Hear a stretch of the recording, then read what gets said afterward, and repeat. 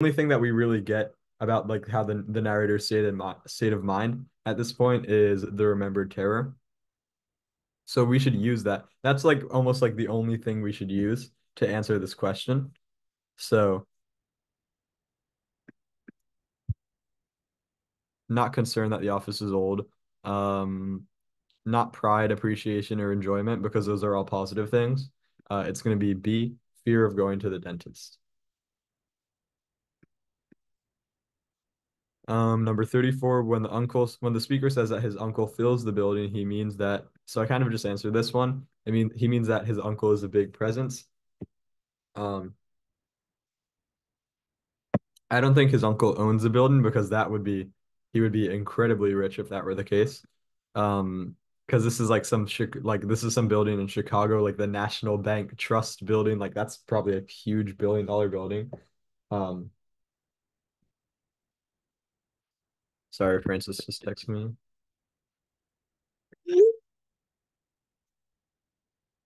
Okay. Um, his uncle's waiting room is crowded. We have no information about that. Um, his uncle is overweight, obviously not. Um, I mean, he could be, but that's not the reason why the answer. Uh, that's not that's not the answer. Um, his uncle has hired everyone who works there. Um, that doesn't. I mean, that's might be true, but it, it, it doesn't explain why he fills the room. Um, as the poem continues, the speaker views his uncle more and more as. So we get we we begin with sort of we begin not knowing we we we begin not knowing that the uncle is the dentist and uh we we begin with with sort of the uncle being described as this like very nice well-dressed old man who's you know like a little bit you know don't help me but he's still very nice uh he's winking at people i feel like only very nice people do that um okay um and and then uh, as we go on we start to get the narrator being like more scared of going to the dentist we learn that the dentist is his uncle so he's in a, in a way like sort of scared of his uncle so that's why C seems to be correct to me. Um, the uncle doesn't seem wiser. He doesn't seem more neat, affectionate, or worried. Um, he seems uh, like scarier because he's operating on um on the narrator's mouth. Okay, number 36. Uh, when the speaker says he is the stoic among his uncle pa uncle's patients, he means that he Okay, so I got a question about this, and this now's the time to answer it.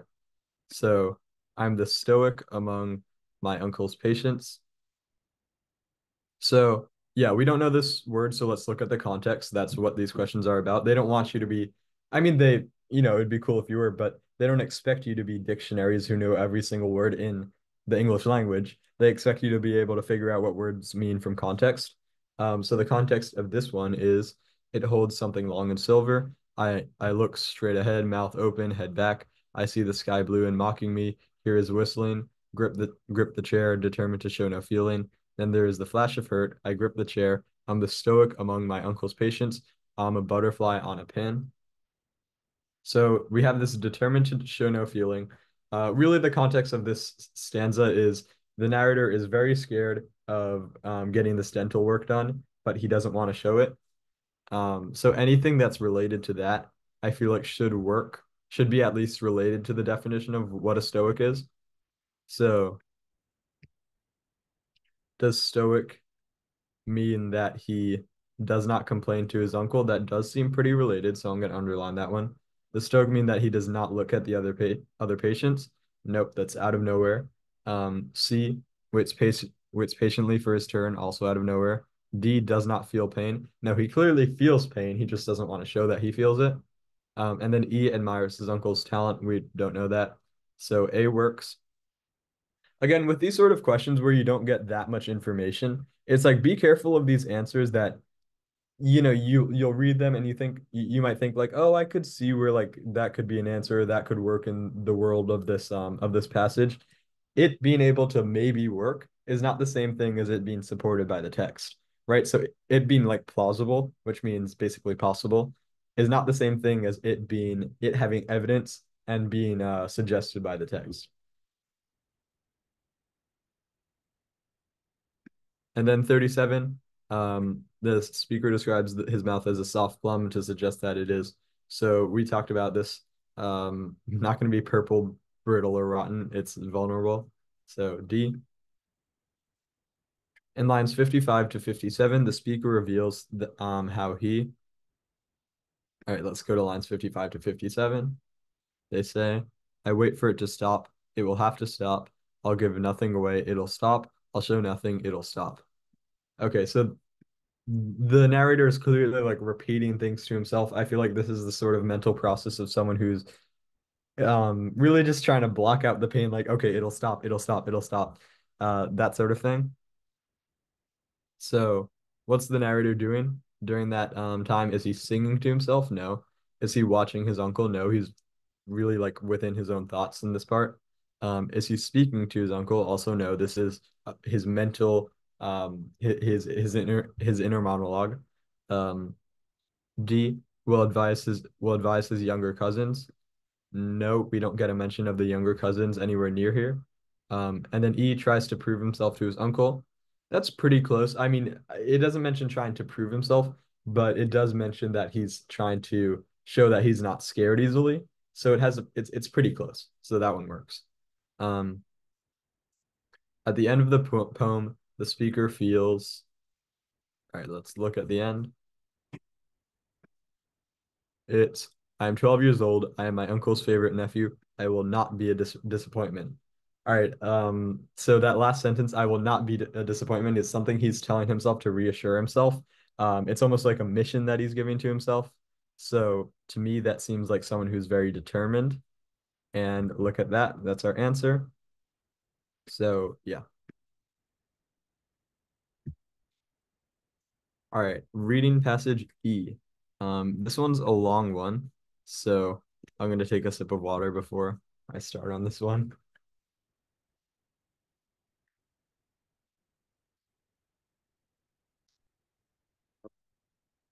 Okay. Um, while the while the freight train was puffing slowly across the winter country, leaving a black trail suspended in the still air, um, Claude went over that experience minutely in his mind. Um, just a little thing this is minutely, which means small. Um, so like in small detail.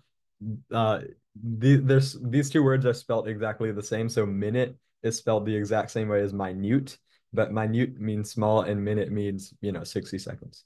Um, as if he feared to lose feared to lose something of it on approaching home, he could remember exactly how Mrs. Ehrlich and the boys had looked to him on that first night, could repeat almost word for word the conversation which had been so novel to him, then he had supposed the Ehrlichs, the Ehrlichs were rich people, but he found afterwards that they were very poor. Their father was dead, and all the boys had to work, even those who were still in school.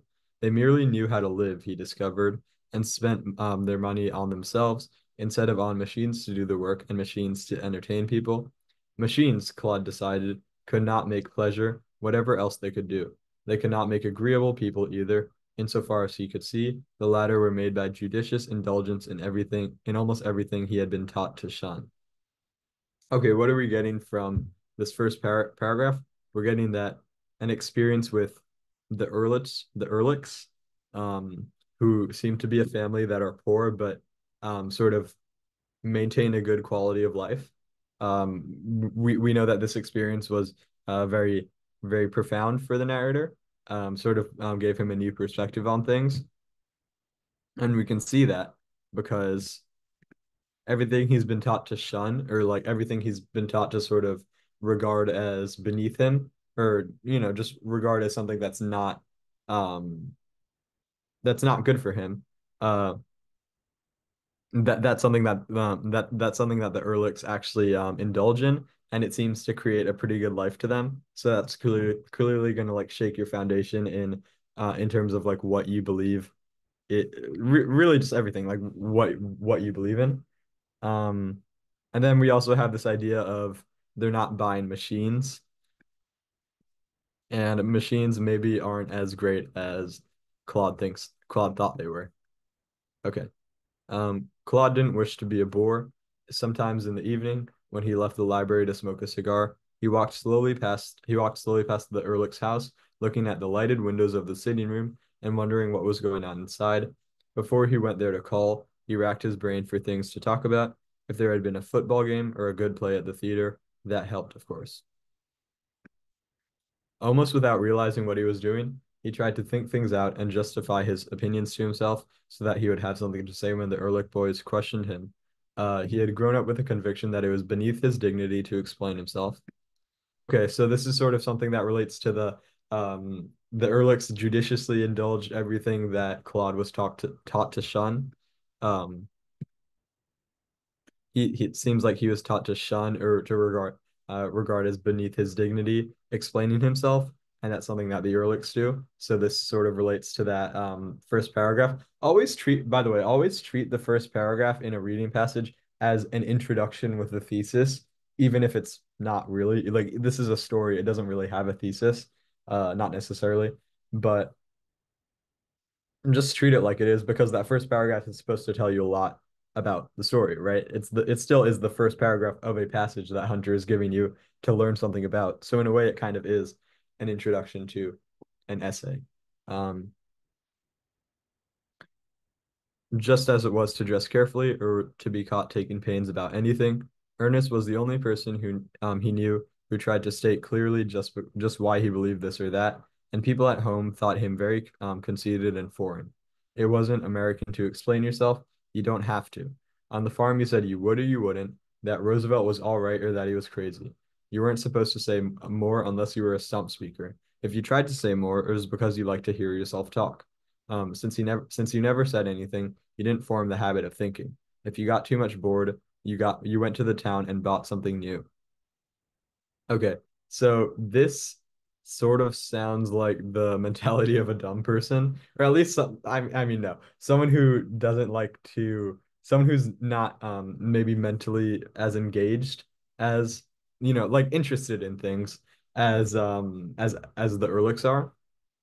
So, you know, don't speak much, don't think too much, um, just buy something. And this is being framed as sort of like an American attitude, right? Because it's not American to explain yourself, or I guess to think. Um, so that sort of raises an interesting question about whether the Ehrlichs are not American. Um, and Ernest, I'm going to assume, is one of the Ehrlichs. So, yeah. But all the people he met at the Ehrlichs talked. Um, if they asked him about a play or a book and he said it was no good, they at once demanded why. Um, the Ehrlichs thought him a clam, aka someone who doesn't talk a lot, right? Like clams, they have their mouths like shut. They're shut. You have to like pry them open. Um, but Claude sometimes thought himself amazing. Could it really be? Um, could it really be he who was airing his opinions in this indelicate manner? He caught himself using words that he had that had never crossed his lips before, that in his mind were associated only with the printed page. Um, when he suddenly realized that he was using a word for the first time and probably mispronouncing it, he would become as much confused as if he were trying to pass a lead dollar, um, would would blush and stammer and let someone finish his sentence for him. Okay, so Claude is clearly out of his element at the Ehrlich's house um, because they all use these fancy words, and even though they're not rich, they're they're very like intellectually engaged with things, and Claude is not, even though he is probably richer than them.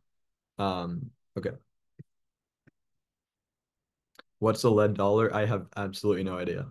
Uh, sometimes you just have to see a see a phrase, realize like think I have no idea what that means and just move on.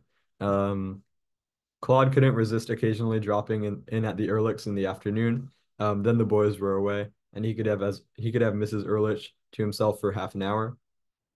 When she talked to him, she taught him so much about life. He loved to hear her sing sentimental German songs as she worked. Spin, spin, du Toch, du Tochter. Uh, I can't speak German uh, Du Tochter mine. Um, he didn't know why, but he simply adored it. Um, adored it. Every time he went away from her, he felt happy and full of kindness. Okay, so it seems like the reason why the Ehrlichs were regarded as foreign is because they are. Uh, they're probably from Germany, and th they're sort of bringing like this German intellectual tradition with them. Um, so yeah, he has been um he had been to see uh, he had been to see Mrs. Ehrlich uh, just before starting home for the ho holidays and found her making German Christmas cakes. She took him into the kitchen and explained the almost holy traditions that govern this complicated cookery. Um, her excitement and seriousness as she beat and stirred were very pretty, pretty Claude, Claude thought. she she told off on her fingers the many ingredients, but he believed that there were other things she did not name. The fragrance of old uh, old friendships, the glow of early memories, belief in wonder-working rhymes and songs. Surely the, there were these were fine things put into little cakes. Okay, so this um this paragraph is very figurative, so I would expect that the questions are going to ask about it. Um, so you have these German Christmas cakes that, you know, they're more than just cakes, they're more than just like flour, milk, and butter or whatever. Um, they're like they have all these sort of like figurative things attached to it. So fragrance of old friendships, early memories, wonder-working rhymes and songs. This is like everything about the Ehrlichs um in in in a dish, basic basically in a cake. Um that's what the cakes sort of represent. It's everything about the Ehrlichs that are new to Claude. The next afternoon, Claude took Miss Mrs. Ehrlich to the football game and came home with the family for dinner. He lingered on day after day, but after the first few evenings, his heart was growing a little heavier all the time. The Ehrlich boys had so many new interests that he couldn't keep up with them. Um, they had been going on, and he had been standing still. He wasn't conceited enough enough to mind that. The thing that hurt was the feeling of being out of it, of being lost in another kind of life in which ideas played but little part. He was a stranger who walked in and sat down here, but he belonged out in the big, lonely country um, where people worked hard with their backs and got tired like horses and were too sleepy at, night to think of anything to say. If Mrs. Ehrlich and her Hungarian woman made lentil soup and potato dumplings and Wiener sch uh, schnitzel with him, um, it only made the plain fare on the farm seemed the heavier. Okay, so this is clearly like the Ehrlich's world, this German intellectual, like uh big like like smart world uh is not is not for Claude. I mean it's it's it's not something that he's a part of. Um and that in a way makes him a little um embarrassed and like feel out of place. Um when the second Friday came around, uh he went to bid his friends goodbye and explained that he must be going home tomorrow. On leaving that the house that night, he looked back at the ruddy windows and told himself that it was goodbye indeed, and not, as Mrs. Ehrlich had fondly said, auf Wiedersehen, uh, which means until we meet again. Uh, coming here only made him more discontented with his lot. His frail claim on this kind of lot life existed no longer. He must settle down into something that was his own, take hold of it with both hands, no matter how grim it was. The next day, during his journey out out through the um, bleak winter country, he felt that he was going deeper and deeper into reality. Okay. Um, as used in line five, the word novel means fictional, boring, melancholy, new, linguistic. Okay. Let's see. Could repeat almost word for word the conversation which had been so novel to him. Okay, so what do we know about these conversations? Um, are they fictional? What was it? Fictional, new, bored, uh, or uh, fictional, new, boring, what else? Uh, melancholy or ling linguistic.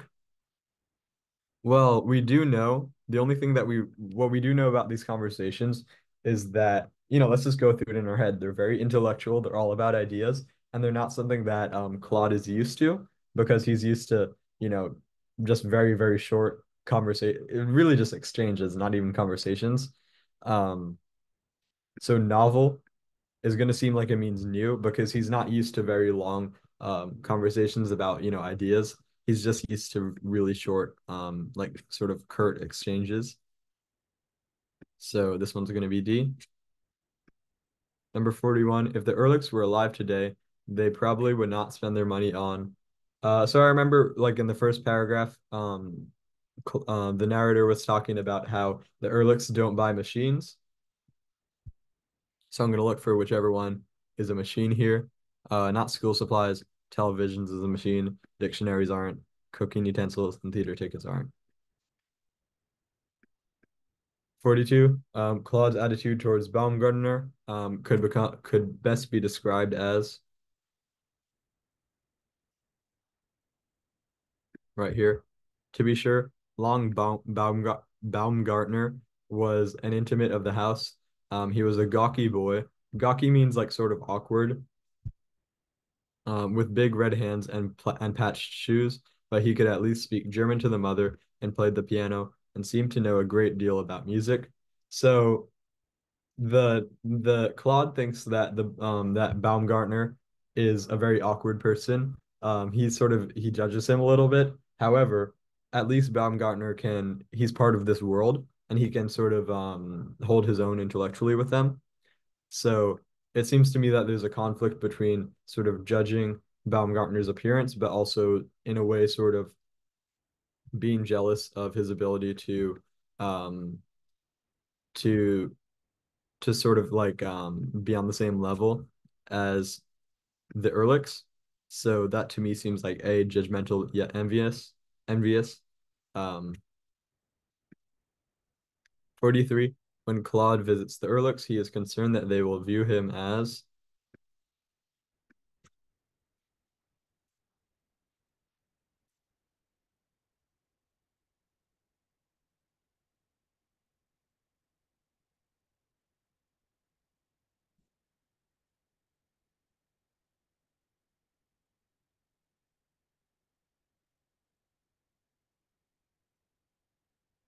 okay, so this isn't something this doesn't really this is more of a um this doesn't really match up to a particular um part of the passage. It's sort of just an inference that we have to make from everything.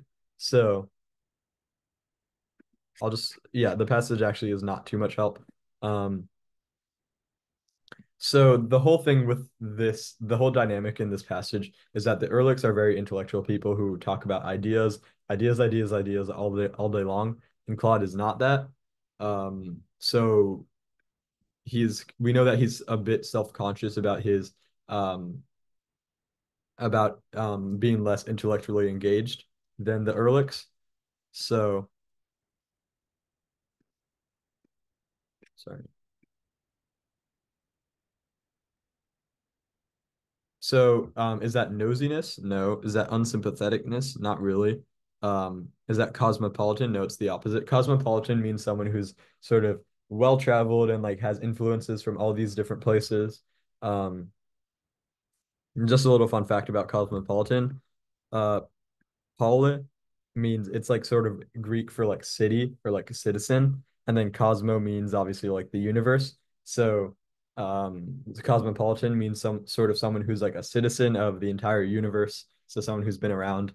Um, unintellectual though, that does work because um, the whole the, again the, the whole dynamic is that Claude is less intellectually engaged than the Ehrlichs, so he feels like he doesn't really have much to talk to them about.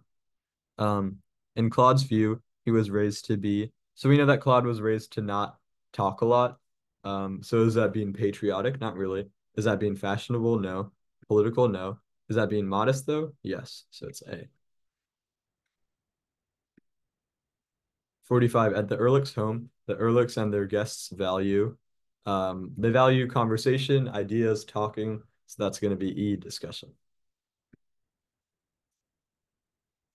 Uh, 46, when using a word he has never um, used before, Claude feels.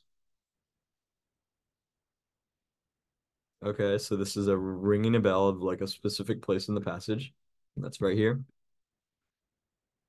He would become as much confused um, as if he were trying to pass a lead dollar, would blush and stammer and let someone finish his sentence for him. So blush and stammer, that seems like someone who's embarrassed. Um, and if he's mispronouncing, he thinks he's probably mispronouncing it. He's sort of, again, he's embarrassed and like a little bit self-conscious. Um,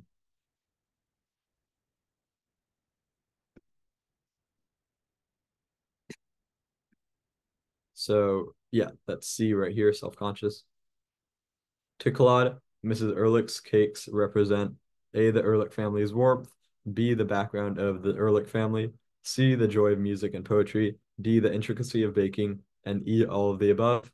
So, spoiler alert, I like I don't I am gonna look back at this um at this part of the passage, but I, I remember that like um really the cakes were representing everything about the Ehrlichs that um that Claude was unfamiliar with or that was uh, that that were new to Claude. Uh, so I'm pretty sure it's going to be all of the above, but we can just check right here.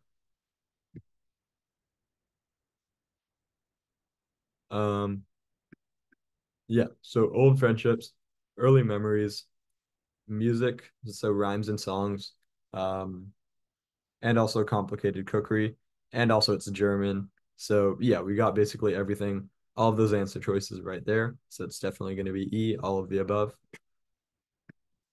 48, in the second to last paragraph, Claude acknowledges that he feels The next afternoon, Claude took Miss Ehrlich to the football game and came home with the family for dinner. He lingered on day after day, but after the first few evenings, his heart was growing a little heavier all the time. The Ehrlich boys had so many new interests that he couldn't keep up with them. They had been going on, and he had been standing still. He wasn't conceited enough to mind that. The thing that hurt was the feeling of being out of it, of being lost in another kind of life in which ideas played but little part. He was a stranger who walked in and sat down here. Um, he belonged out in the big lonely lonely country. So Claude feels like he doesn't belong. He feels out of place. Um, so the word here that means out of place is displaced. So C, right? Dis meaning sort of anything negative, uh, and then place, so out of place. Um, 49, uh, by the end of the passage, Claude is realizing that All right, let's look at the end of the passage. Um, when the when the second Friday came around, he went to bid his friends goodbye and explained that he must be going home tomorrow. On leaving the the house that night, he looked back at the ruddy windows and told himself that it was goodbye indeed, and not, as Miss Ehrlich had fondly said, "Auf Wiedersehen." Um, Co coming here only made him more discontented with his lot. His frail claim on this kind of life existed no longer. He must settle down into something that was his own, take hold of hold of it with his, with both hands, no matter how grim it was. Um, and then it says he's going deeper and deeper back into reality. So he's he he wants to like sort of tie himself down to his own real life and stop trying to escape it with the Ehrlichs. And that's what this seems to be saying um, to me. And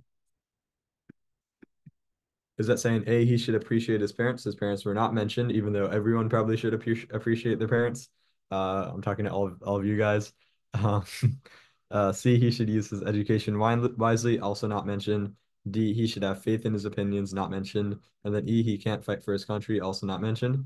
But B, he can't live like the Ehrlichs. That was mentioned, right? Because the whole uh, conclusion of this passage was I need to go back to reality and I need to sort of take root in my own life and stop trying to escape it with the Ehrlichs. So B is is working for this. Um, and then 50, a good title for this selection would be um, Across the Winter Country. Nope. This Indelicate Manner. Nope. Happy and Full of Kindness. Nope. Lost in Another Kind of Life. Oh, I crossed it out too soon. That does seem to be right because the whole point is that Claude is very used to his old life um, his this this sort of like very American life, and uh, he's not used to the um, Ehrlich's German life. And then yeah, he, the glow of early memories is not going to work. So 50 is going to be D. All right, so that's the whole English section. Um, does anyone have questions on any of those those problems that we just did, or about just like the English se section on the Hunter test in general, or anything on the Hunter test actually?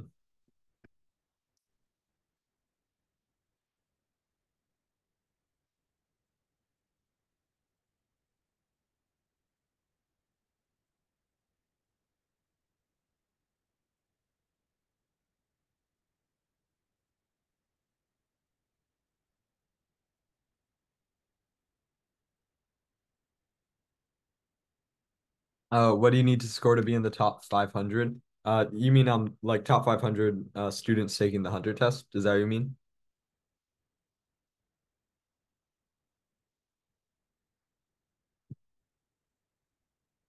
Um, yes. So top 500, I, I'm, I'm, I'm, it changes every year. Uh, it's based on, right? Because it's not based off of, if they were to make it, um, you know, you have to score, I don't know, 60 out of 80 um like every year, then it wouldn't be the top 500 every year. It would change because you know easier tests people would score, uh, more people would score that. Uh, harder test, less people would score that. So they they change it um based on uh like based on how people do each year, and also um, just generally the difficulty of the tech of the test.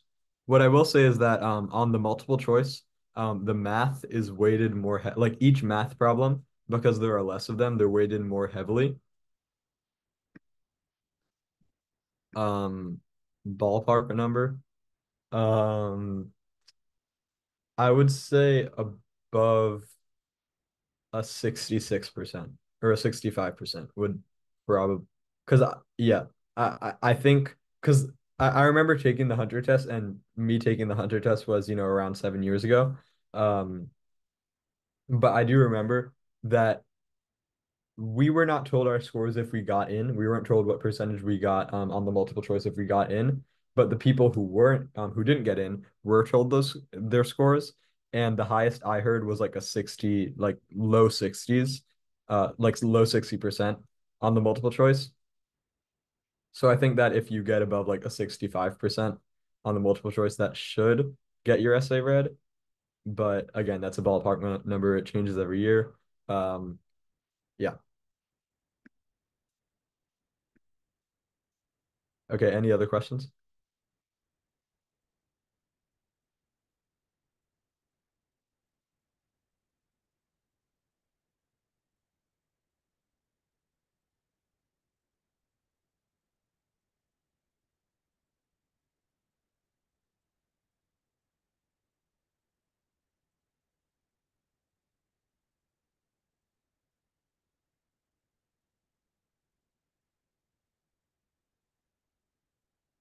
Okay, I'm going to take that as a no, uh, and I'm going to move on to the math.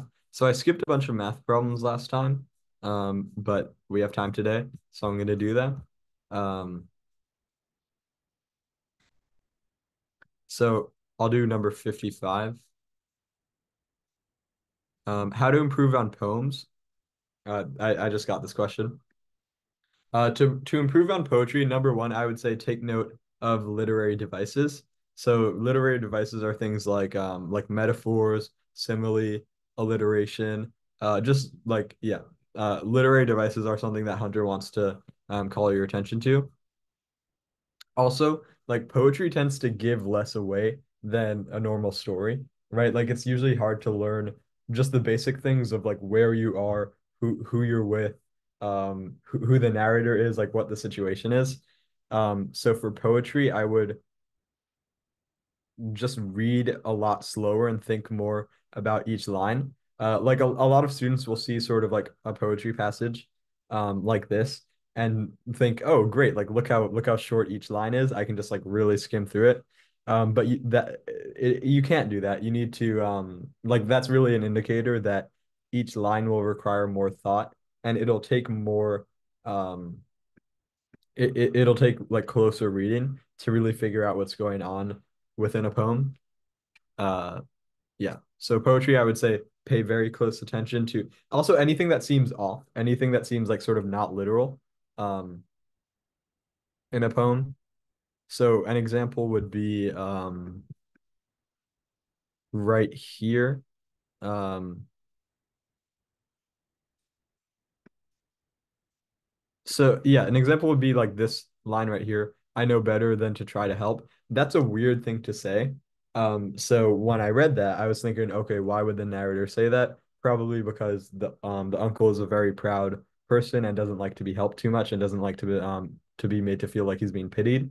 Um, so really notice anything that seems weird and try to um think about why it would be written in that way uh before you move just move on from it. So yeah.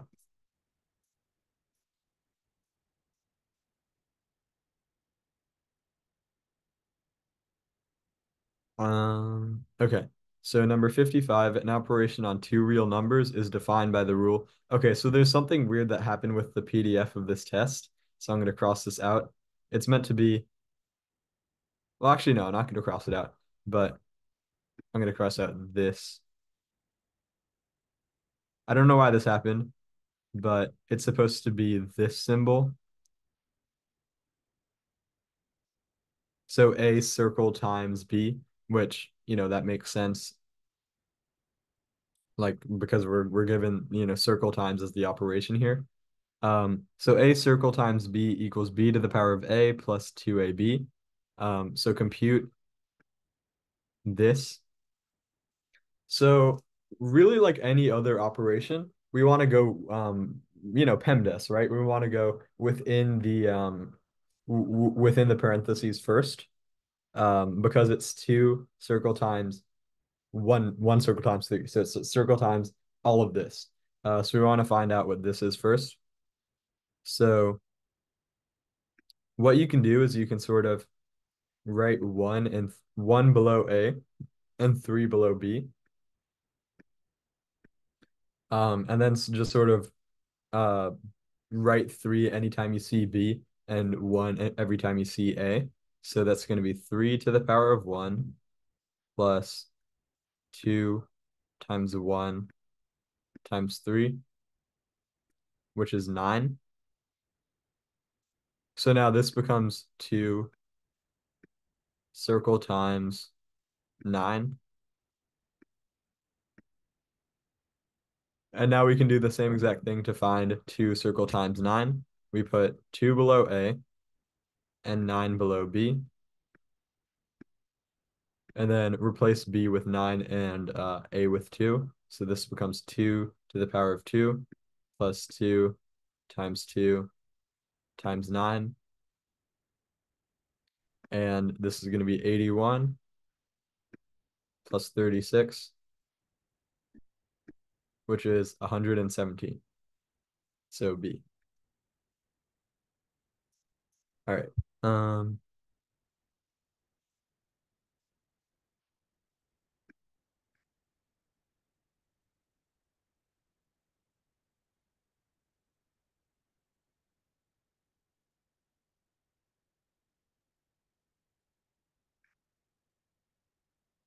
Okay.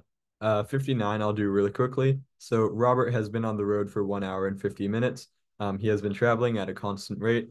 So far, he has traveled one sixth of the way to his destination. If he continues at the same rate, he will arrive at his destination at 3.30 p.m. Um, at what time did Robert start? Okay, so I'm going to draw a sort of timeline um, to model the situation. So 330. And then I'm not to calculate 330 minus an hour 50 minutes uh, because I don't feel like doing that right now.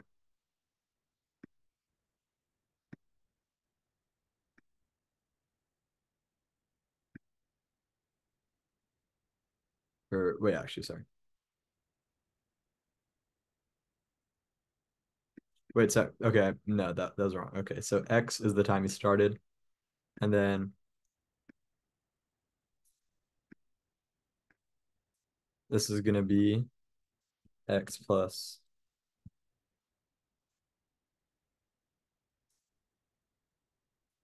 So this is X, the time he started. This is an hour 50 minutes after that. And this is one sixth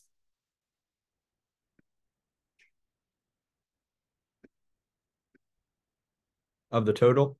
Um, so we know that if if one x plus one hour 50 minutes minus x, aka one hour 50 minutes, um, is one sixth of this entire time, we can just multiply this number by six to get the entire time that it's going to take uh, from beginning to end for Robert to get to his destination. So one hour, 50 minutes. Um, the way to, to so we're going to multiply that by six. Um, so first we should put this all into minutes. So one hour, that's 60 minutes, and then plus 50 minutes. We get 110 minutes. Multiply that by six. And we get 660 minutes.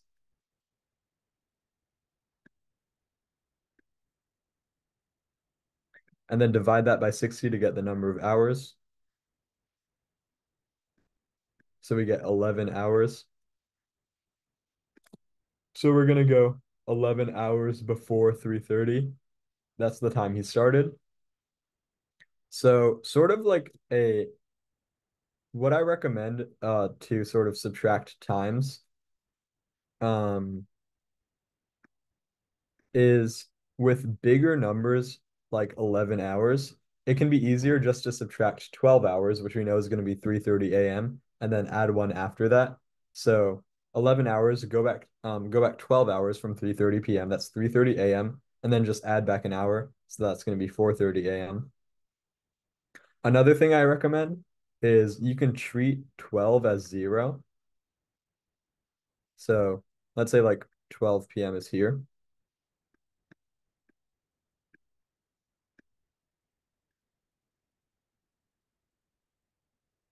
If we treat that as zero and treat, for example, 3 330 as like 3.5 hours, we subtract 3.5 minus 11 hours.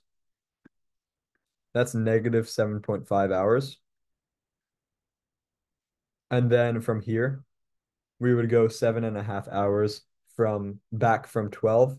So that would be so seven hours, that's 5 a.m. And then back another 30 minutes, that's 4:30. Uh, but that's a little trickier. Honestly, I think it's easier just to do what I said first, which is go back 12 hours and then add back one to get 4:30 a.m. Okay, in my dorm, like the lights always turn off automatically, so I'm gonna turn those on.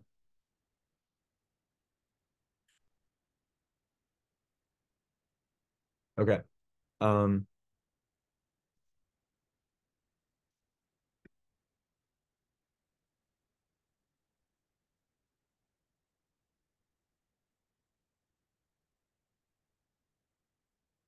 so number 63, uh, Miki prepared two gallons of a beverage that contains tea and lemonade in the ratio of tea to lemonade equals three to one.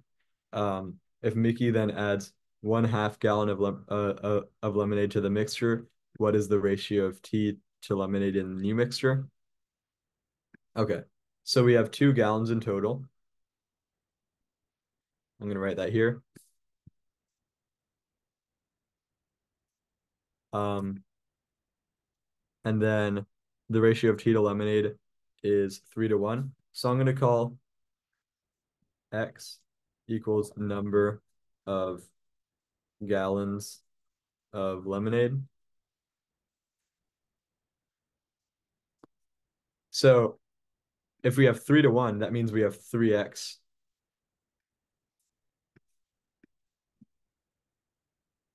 gallons of tea. So in total, the amount, the, the total um amount of liquid in this equals 4x. And then what also, that that's the total amount of liquid in terms of x, right? In terms of the number of gallons of lemonade. And then we also know exactly what the total amount of liquid is here. It's two gallons. So we can set now 4x equals two gallons. Um, and then just divide by four on both sides. We get x equals one half. So x is a half gallon. Um, so that means that we have one half gallon of lemonade and three halves gallon of tea. So then if we add another half gallon of lemonade, we're going to make this one half plus one half, which is one. And so the ratio of tea to lemonade is going to be three halves to one. You can multiply both sides of this ratio by two. And we get that it's equal to three to two. So that's C.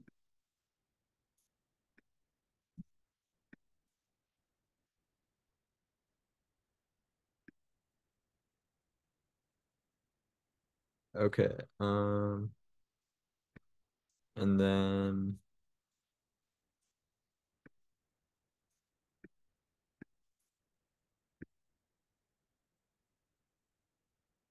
So we did 64 last time. We did 65 last time. 66. Um, I think we did 67.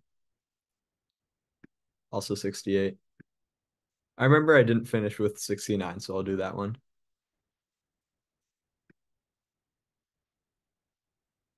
All right, so number 69, uh, the rectangular floor of a room is four foot six inches wide and eight foot three inches long.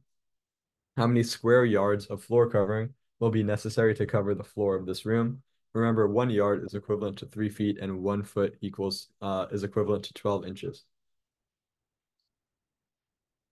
Okay, so I'm going to con convert all of this into inches first. So four feet, six inches. So that's going to be four times 12 plus six, which is 58 or 54 inches. And then eight foot three, that's going to be eight times 12 plus three. So 99 inches.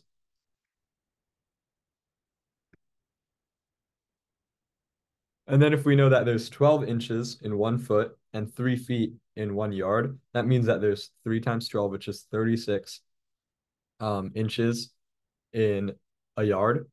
Um, so if we want to convert these inches into yards, we're going to divide by 36.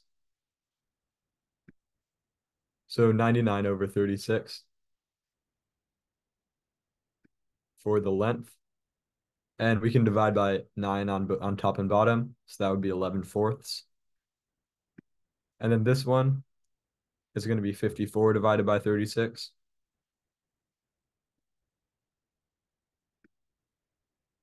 Both of those are divisible by 18, so it becomes 3 halves if we divide by 18 on both uh, top and bottom.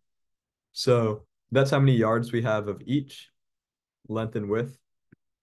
By the way, guys, an, an easy way to keep track of, of, of units when you're doing a bunch of unit conversion, which means so sort of like swapping between units, is to remember that units cancel out in the exact same way that numbers cancel out. So what I mean by that is, so we had 54 inches. When I converted that into into yards, really what I did was that what did I do? I divided by 36, right? But what I really did was I divided by this number, which is one yard over 36 inches. Now think about this. One yard equals 36 inches. So this num this this fraction right here essentially equals one, right? Because it's a fraction between two equivalent distances. Um, but something that's interesting about units is that if you have it in the in the numerator and the denominator, it cancels out. And then the only unit that we're left with in the in the in the numerator is this yards right here, which is why we get 54 over 36 or 3 halves yards. It's because the inches cancel out and it just leaves the yards in the numerator. Same exact thing, for example, if I wanted to convert meters into kilometers. Um, so let's say I had 23, because it's my favorite number, um, 23 meters. And I wanted to convert that into kilometers. So clearly, like we, we know that I would just divide by a thousand to get uh, kilometers, but let's think about why. So we want meters to cancel out. So we would want to put meters in the denominator. And then we want to put kilometer kilometers in the numerator because we want to get kilometers after the meters cancel out. And now this fraction just has to be an equivalent uh, number of kilometers equaling an equi uh, a, a, like a number of kilometers that equals an equivalent number of meters. So we know that one kilometer equals a thousand meters, right? So we can write one kilometer over a thousand meters. Then meters cancel out. And what do you know? We're dividing by a thousand, which we know that we should be doing. Uh, so this would be 0 0.023 kilometers. So anyway, all that is to say that we have three halves yards and 11 fourths yards, and we want to find how many square yards we need to cover cover the floor. So three halves yards times 11 fourths yards. And so not only do units cancel cancel out in the same way that numbers do, they also like multiply together to uh, in the same exact way that numbers do. So I'm going to get 33 over 8 from the numbers. And then from the units, I'm multiplying yards by yards, aka yards squared, aka square yards. Um, So I got 33 over 8. Um, that's equal to 4 and 1 eighth, right? Because 32 eighths is 4. And then add one more than that, we get 33 eighths. But the fact that um yards that that units um sort of multiply together like that is actually very important, and it can it can make you wrong in this question. Um, because let's say that I didn't convert both into yards before I multiplied it. So let's say I kept it as 54 inches by 9 inches.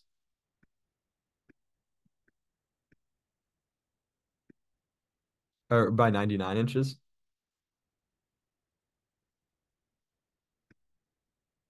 So that would be equal to, I think, um, 536. Or no, uh, wait, no. What would it be? 53.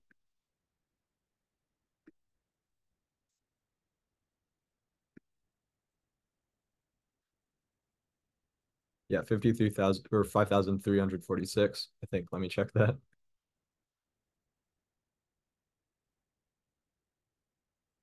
Yeah, okay, that's right. Um, so let's say I wanted, so that's that's in inches.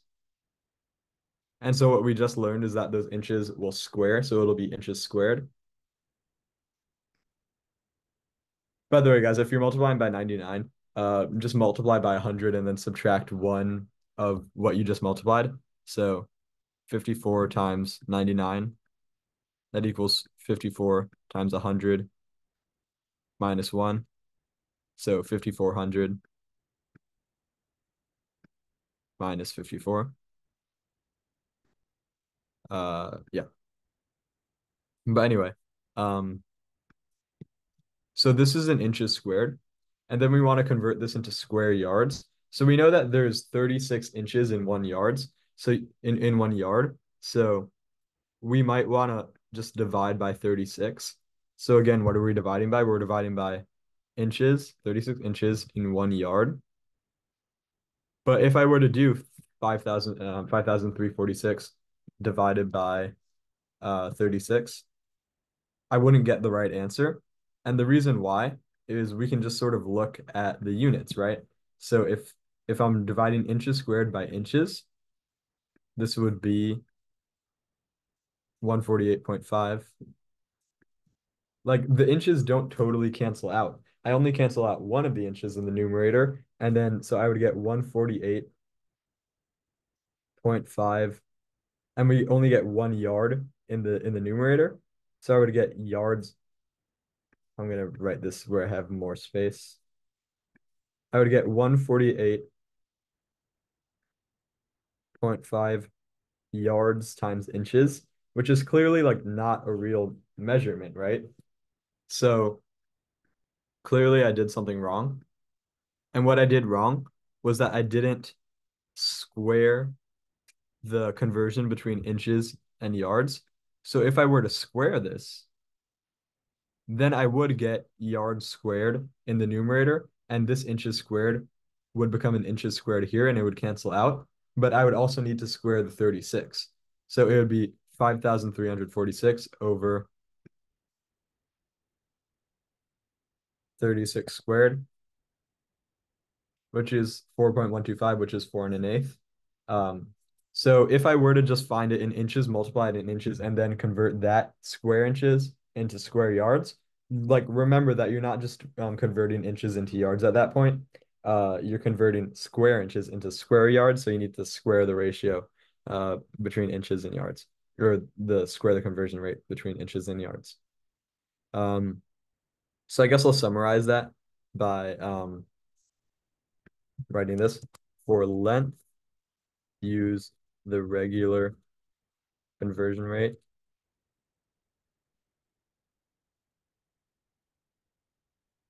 And then for area, square the conversion rate. So 36 squared.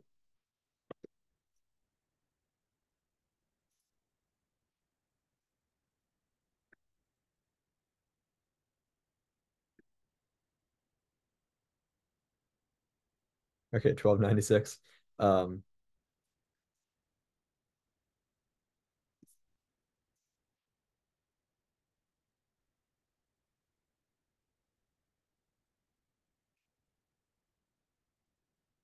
so 1296 inches squared equals one yard square. Um, and then if it were volume, you would cube or like uh, take it to the third power, the conversion rate, because you need cubic inches and cubic yards.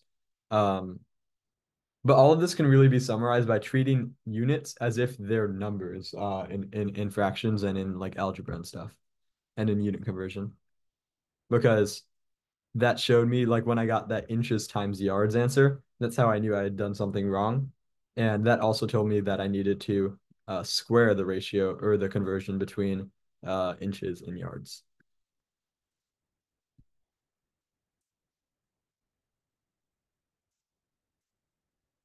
Okay. Um, I think I did set. Did I do 70? Um, all right, I'll yeah, I'll do 70. Um, so in the last step of solving a problem, Jeremy divided by 0.4 instead of multiplying by 0.4 and thus divided at an arrived at an answer of 400. Um, if Jerry's calculations were otherwise correct, what was the correct answer to the problem? So I'm going to sort of draw this out visually. So this is, so I'm going to say like correct answers here. Um, what Jerry divided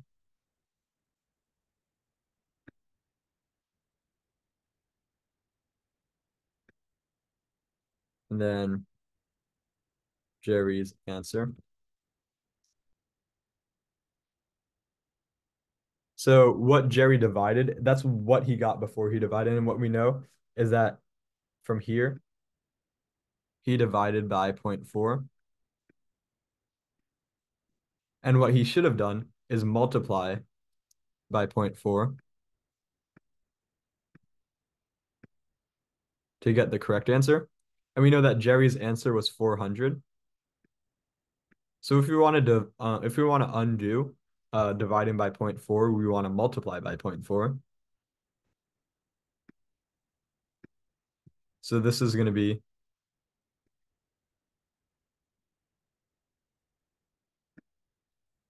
one sixty. So that's what Jerry divided by 0.4. And then we want to multiply by 0.4 again to get the correct answer. And that's going to be 64. So it'll be A.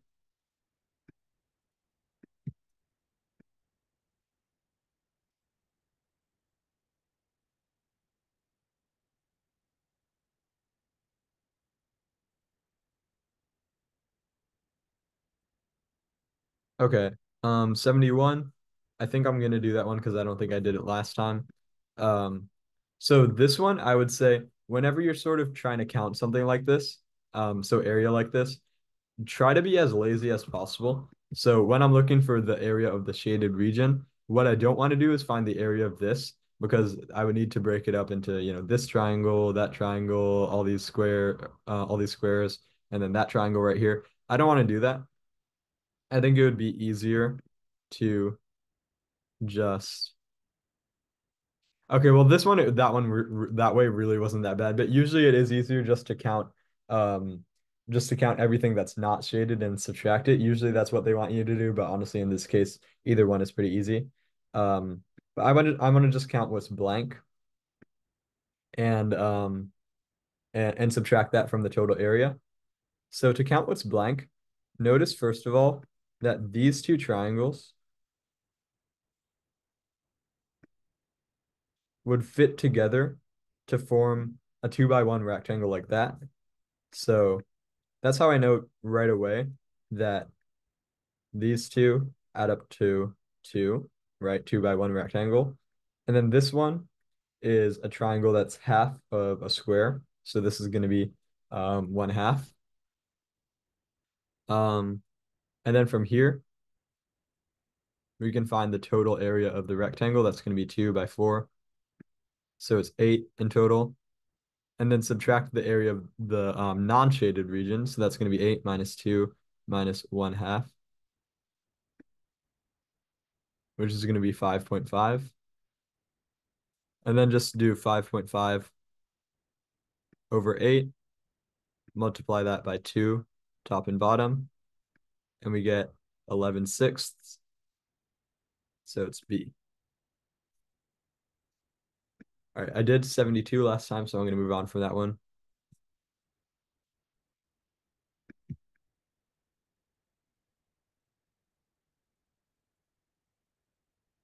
Okay.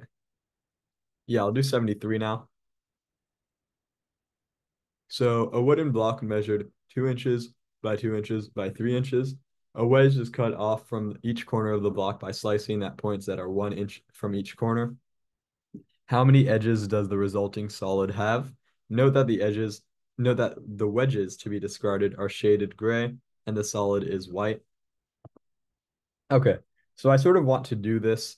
Um, I don't want to count all the wedges that would be on this new this this new figure. Um, I think we can do something a little smarter than that.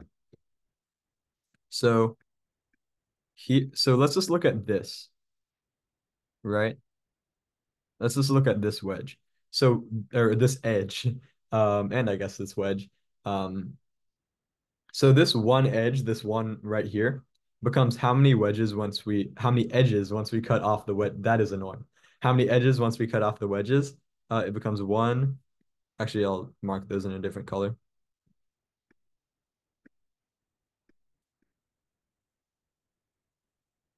Two, three here, four, five, then six here. So that one edge becomes six new edges. So we can sort of just rotate this, like multiply it around the uh around around the prism, around the rectangular prism or the block. Um, so we have that this is six. So, all right, six. This is also six. This is six. And then this is six right here. And we've counted all of the corner pieces. The only ones we haven't counted are these right here, which there are four of. There would also be one right here. So we're going to have four times six plus 4, which is 28. So it'll be C.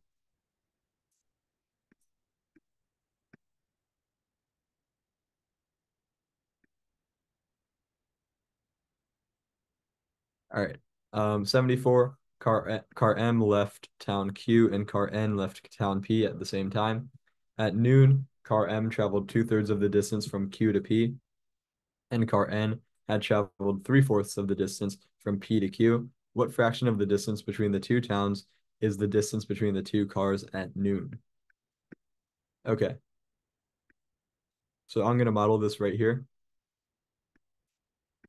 So this, the distance between M and Q, equals two thirds of the total difference or distance between P and Q. And then this right here, the distance between car N and town P um, equals three fourths of the total distance. Now, notice that the direction matters here, right?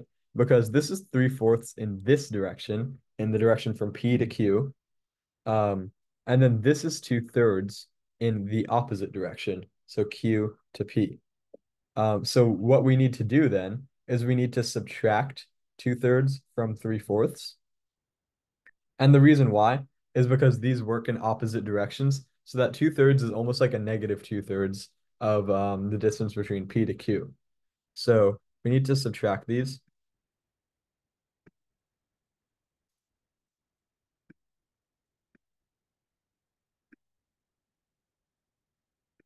And so three fourths minus two thirds, that's going to be nine twelfths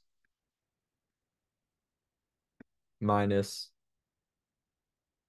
8 twelfths, which is 1 twelfth. So this one's going to be A.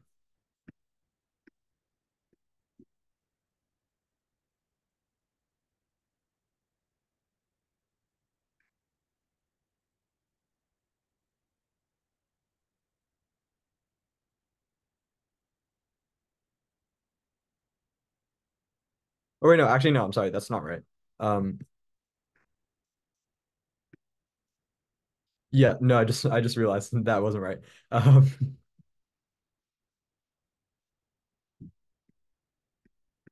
okay. So yeah, what you're gonna do instead is so this is three fourths,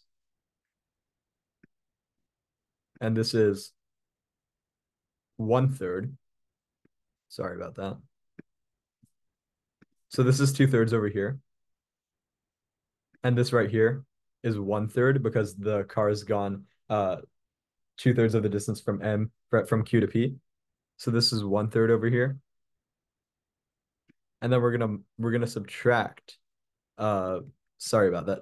One third from two thirds. So we're gonna subtract this from this in order to get the distance between them, which is this right here. So that's going to be 3 fourths minus 1 third. That's 9 twelfths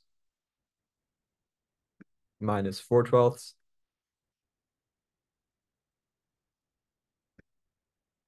Which is 5 twelfths. Sorry about that, guys. All right, so this one's going to be E.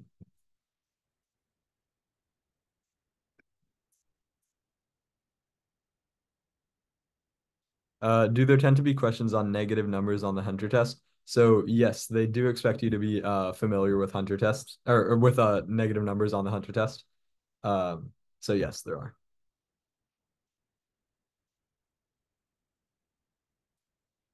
All right, number 75. The length of the dashed horizontal line uh, line segment is 12 inches. Seven squares are, con are constructed as shown in the diagram, four above and three below the horizontal dashed line. Uh, what is the length in, inch in inches of the continuous solid path from P to Q? So we have no idea what the side lengths of any of these squares are. Um, and we're never gonna, we can't just figure that out, right? They don't give it to us for a reason. So we can try to be a little smarter with this. So let's just take this first square, for example. So with the with the um, dashed line, I can just go right across it like this. But with the continuous line, I need to go up one of that length to the right one of that length.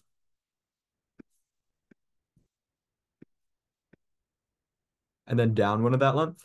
And that's going to be true for all um, segments of this dashed line, right? Like, yeah, also over here, it's like you have to go down one of that length right here, right that length, and then up that length. So every time, so for all of those, for, for, for all segments of the continuous dashed line, you have to go three times that length. Um, or for all set segments on the dashed line, you have to go three times that length on the continuous line um, to make it to the same point. So we know that all of these segments on the dashed line add up to 10. Or sorry, add up to 12. And we have to go, for each of those segments, we have to go three times that on the continuous line um, to go the same distance. So that's going to be 12 inches times 3, which is 36 inches. So it's going to be C.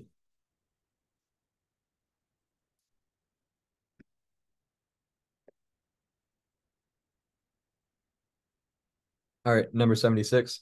Um, four congruent rectangles are placed around a square to form a larger square, as in the diagram. The perimeter of each of those rectangles is 20 units. What is the area in square units of the larger square? Um, the sum of the areas of the four rectangles and the smaller square. Okay, so I'm going to call the long end of each rectangle the length and the short end the width.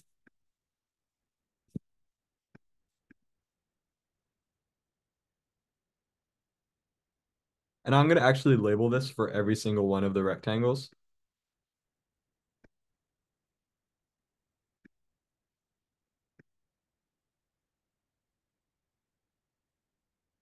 So notice that the length of uh, of the square is, or the side length of the square is W plus L.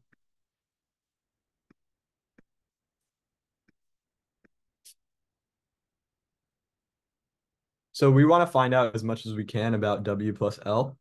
And so what else do we know about the length and the width of the rectangle? We know that the perimeter adds up to 20. So we know that 2W plus 2L equals 20 units. So if we want to find W plus L from this, what should we do? We should divide by 2, right? So 2W divided by 2L, uh, or 2W divided by 2, and then 2L divided by 2, and then 20 divided by 2. Then we get W plus L equals 10. And now we know that the side length of the square equals 10. So in order to find the area of that square, we just take, we just square 10, right? To get 100. So this one's going to be 100.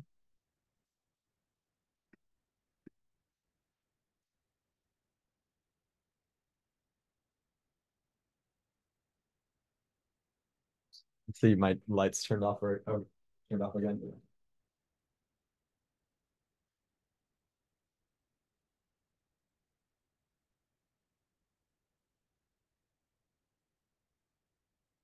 Okay. Um, and then number 77. Um, I placed some black marbles along a circle with circumference 72 yards so that the center centers of neighboring marbles, the black dots in the diagram, are three yards apart along the circumference.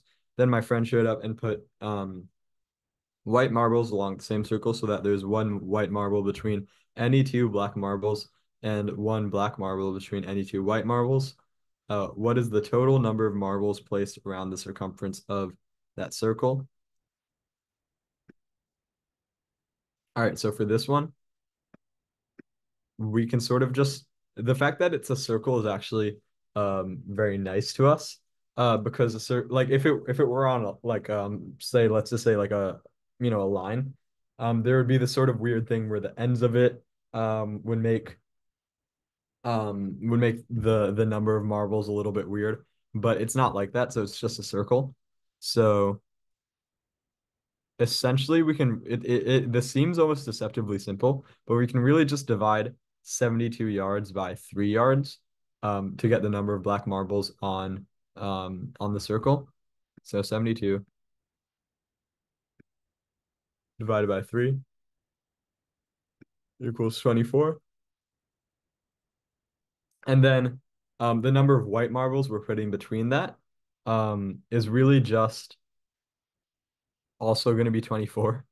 Um, and the reason why is like, okay, it, it might seem a little like we're, we're thinking, okay, so we're putting it between each marble. Maybe that has something weird um, where maybe like it, it's only half, like the number of uh, marbles that you put in between the two black marbles. Maybe that would be only half of 24.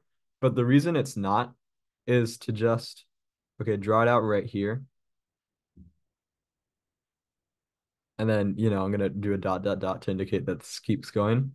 So like this um, pattern, right, where it alternates and like you have a white marble between every two um, black marbles, like you can really just think about how each black marble has a white marble to its right. So this one has a white marble to its right. And then you're gonna keep you can keep doing that for every single black marble until you get around back to here. So each marble, each black marble, you can say that only one marble is to its right, and it has only one rightward white marble, which shows that the number of black marbles equals the number of white marbles. So it's also just going to be 24. So don't get confused by that. Um, it's just going to be 24 plus 24, which is 48. I don't know why I drew the 48 so terribly. Uh, so this one's going to be C.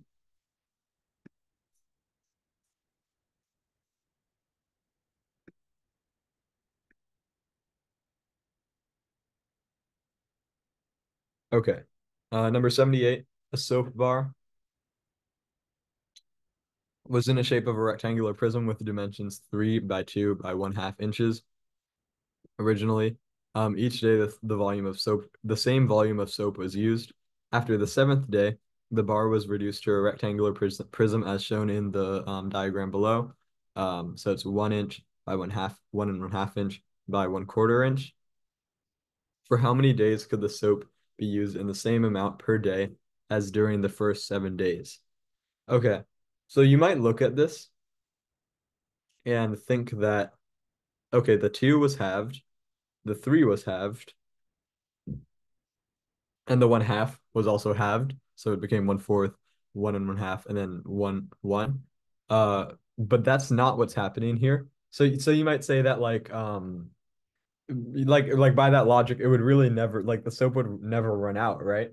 Because you can always get a half of a number and that's still a number that's not zero. Um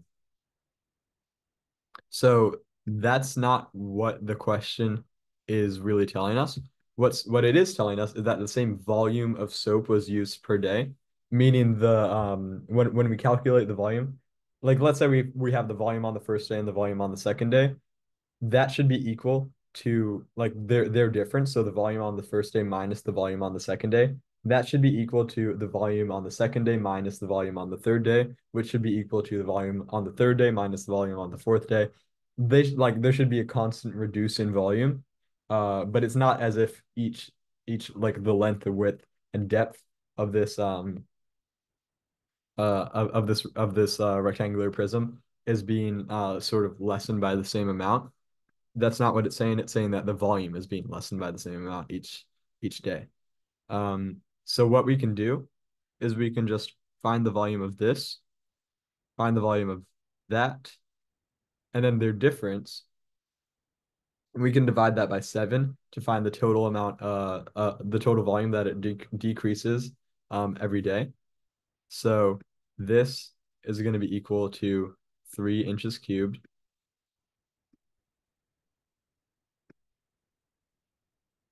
And then this is it going to be equal to 3 eighths inches, inches cubed.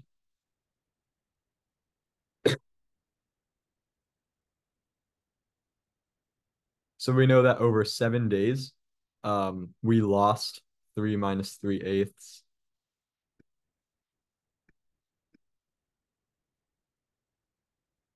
inches cubed. So we lost 21 eighths inches cubed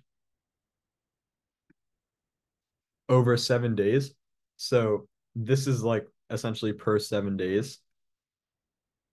So if we divide that by seven, we'll find how much we lose per set per, per each day. So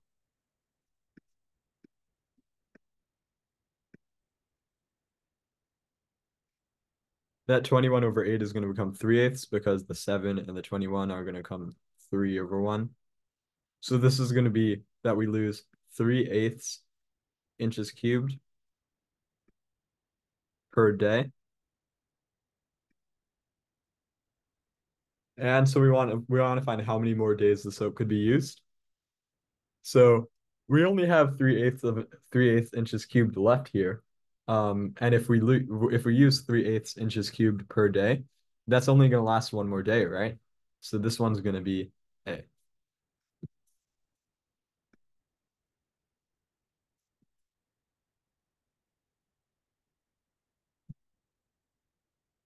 Okay. Uh, use the graph below to determine how many people who entered the store before 7.05 a.m. were still in the store at 7.08 a.m. Each dot represents one person. So what this graph is telling us is um so the the x-axis is time entered the store. So the time so the number of minutes after 7 7 a.m. So in other words, this would be like 7 a.m because that's the number of minutes after 7 a.m. Uh, this would be 701. This is 702. And then all the way up to 7 710. And then this is the amount of time they spent in the store. So an example that they give is person A entered the store at 7:10 a.m. and spent three minutes in the store. So 7:10 a.m. and then they spent three minutes.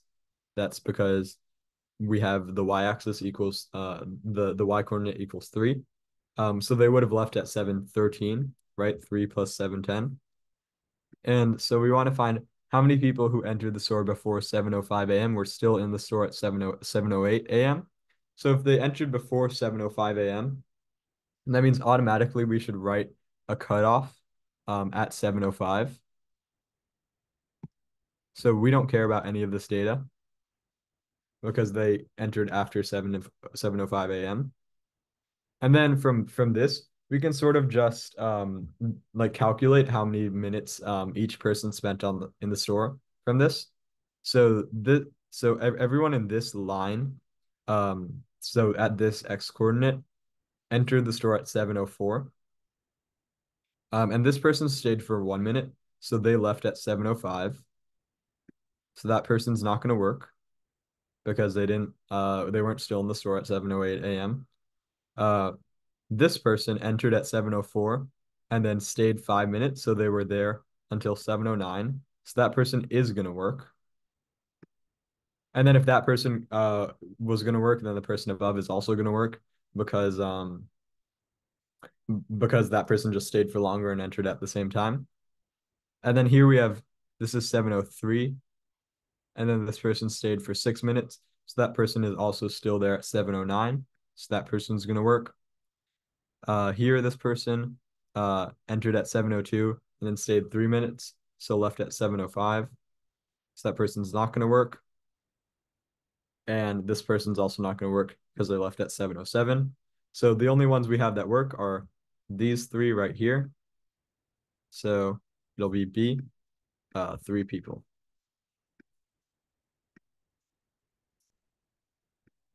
Okay, and then last math problem, um, number 80. Let me get a sip of water before I do this one.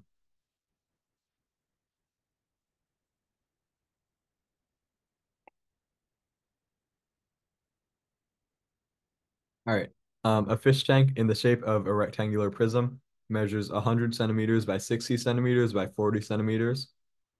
The water level reached the midpoint of the base, the 50 centimeter mark, when the tank was tilted to rest on a 60 centimeter edge, as shown in the diagram on the right.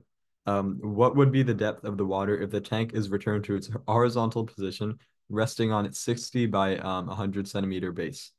By the way, guys, I think this was actually the hunter test that I took because I remember this was the last question on my test, unless they're like reusing this type of question. Um, I think this was my hunter test. Uh, so that would be the 2018 one, I think. Um, or the 2017 one, maybe. Uh, no, this was 2018. Um, okay. So anyway, so I want to find, okay, so the depth of the water if the tank is returned to its horizontal position. So the way we can find that is to find the volume of water and then divide that by the area of the base. So the area of that base, that's the 60 centimeters by 100 base, 100 centimeter base. And the reason why that would be um, the the depth of the water is because length times width times height equals the volume of um, a rectangular prism, right?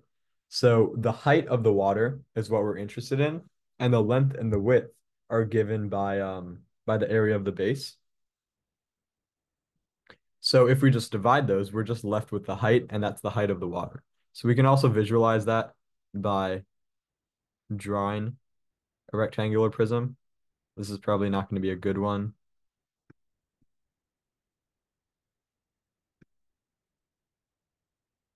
So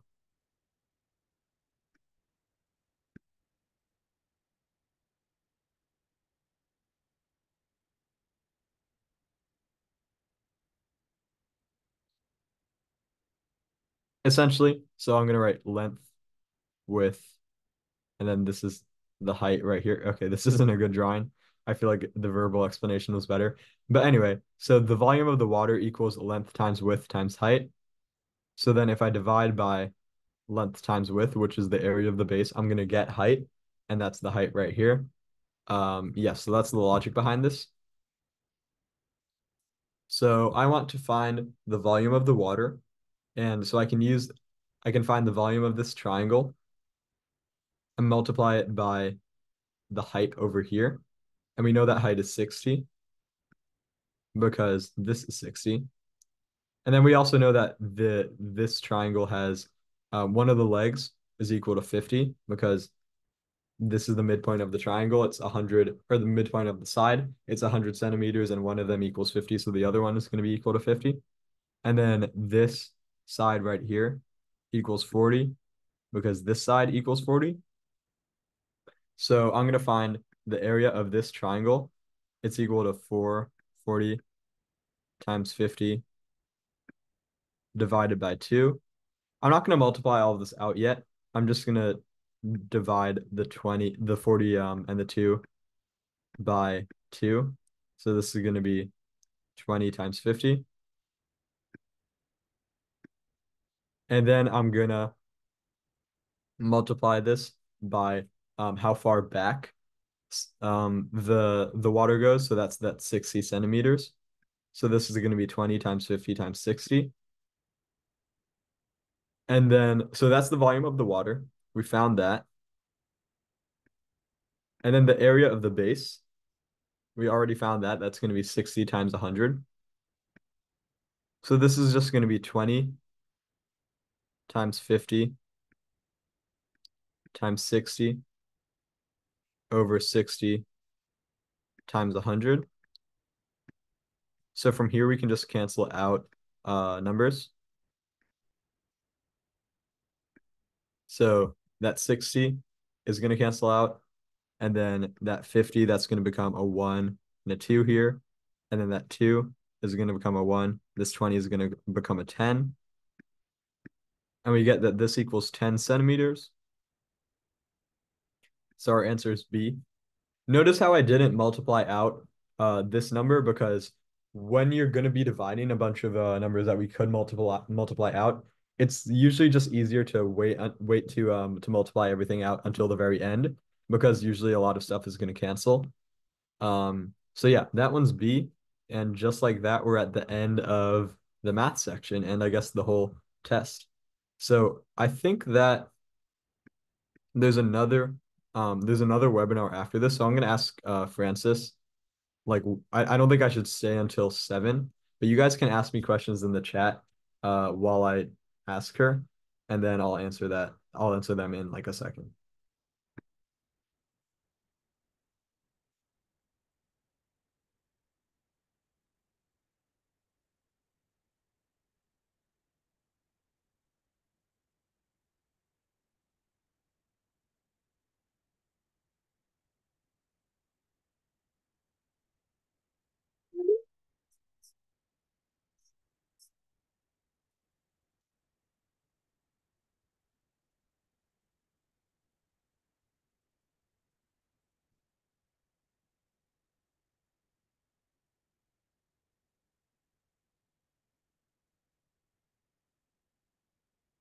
Um, someone asked me, how do you know what letters represent in a math problem? Um, I'm not sure. Could you give me an example of what you mean by that?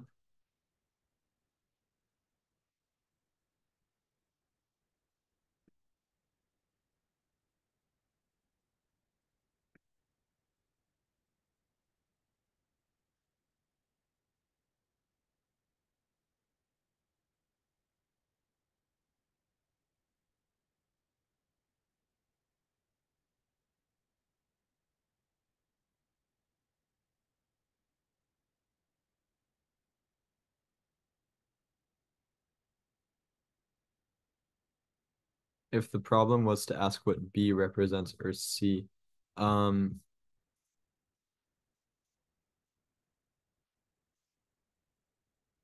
is like 54 what um an example of one you're asking about?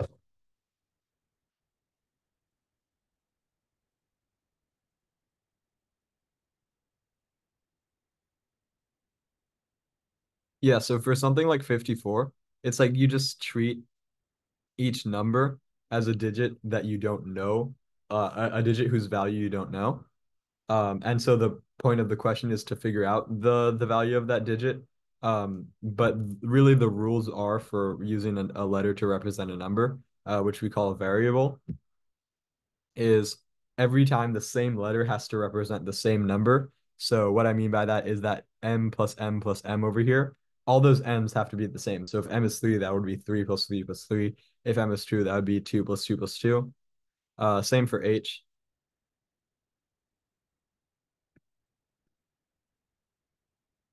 Uh, all those h's would have to be the same.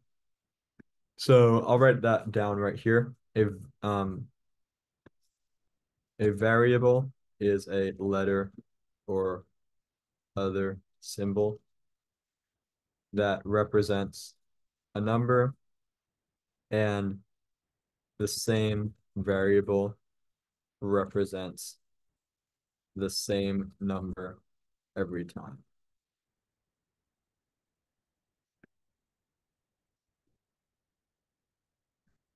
So for example, if I had like x plus 3x, it's like both of those x's are the same thing. Uh, so it would be 4x. Uh, it's not that x couldn't be multiple things. It could be multiple things. Um, but if we're treating it within the same equation, within the same equation, it equals the same thing. Um, yeah, any other questions?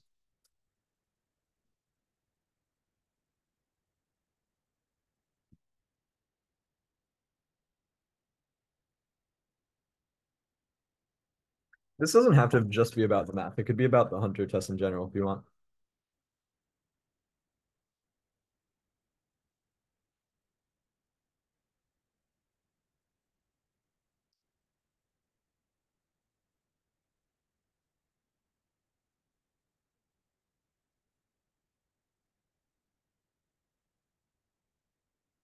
Um, how to write a good essay. Okay, that is a huge topic, but I'll try to answer it. I'll I'll give you a very brief, very, very brief um way to look at like like almost like a brief diagram of a good essay. So your essay, this isn't the only way to do it, but this is a good way to do it. Uh, so you know, I recommend. Um, so essay has So your essay has three components. Um, your intro, your body paragraph, your well, your body paragraph, like plural body paragraphs, and then your conclusion. So your intro should work like a funnel. So that seems weird. A funnel, like you, you, you guys know what a funnel is. It's like you pour you, you don't have to be very precise with the water. You pour it into the water and then it like narrows it into a smaller stream. So what I mean by that is it should start um pretty broadly. So your your essay should begin with a hook. And your hook is the point at the in the essay where the author knows the least or where the reader knows the least about what's going on they just know that um what comes after it is uh th this like the hook solely exists to grab the author's uh, the reader's attention but it does it's not it doesn't exist to tell them everything that's going to happen in the essay um and sort of like what's going to happen after it. It's just to draw attention it it's not to give information um and then throughout your um throughout your intro you should be adding details that narrow down what you could be that narrow down to the story. So like for example, uh so you start with your hook, the author doesn't really know what's going on. Um, and then you you keep on talking and you add more details of the story so the so the reader begins to know what's um what's happening in the story. You know like i was with the library there were pay, there, there were um shelves and shelves that um shel- I was I was at the li library like there were shelves and shelves of books or something like that. Uh like details that sort of um let the reader know what's going on. Um and then you have your thesis slash main idea so that's really like the big takeaway that you learn from this experience that you're talking about. Um, or or like yeah, it's really like the main idea of your essay. And I need to finish up. Uh, I mean, what and how did you write your Hunter essay? Uh, I, I'm not sure what you mean by that. Um, but anyway, so your body paragraphs, um, they really just proceed. You're, you're just telling a story in your body paragraphs. One helpful tip though is to overlap your second body paragraph, for example, with your body paragraph with your first one a little bit. So for example, if this is body paragraph one and this is body paragraph two, the last sentence of body paragraph one should be almost restated a little bit in body paragraph two because it keeps the momentum of the essay going forward. Um, and then last thing, and I need to go.